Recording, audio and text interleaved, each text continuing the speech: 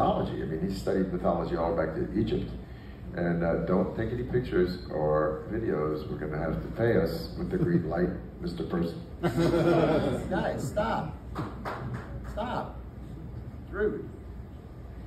Uh, unless you're paying us.